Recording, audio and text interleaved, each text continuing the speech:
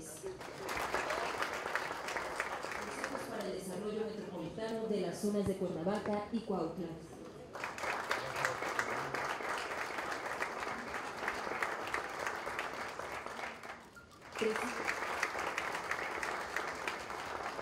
para impulsar un desarrollo equilibrado y sustentable, carácter de Secretario de Desarrollo Sustentable del Estado de Morelos, lo cual se cuenta con el quórum legal para dar inicio, lectura y aprobación del orden del día. Gracias. El orden del día se aprueba por unanimidad.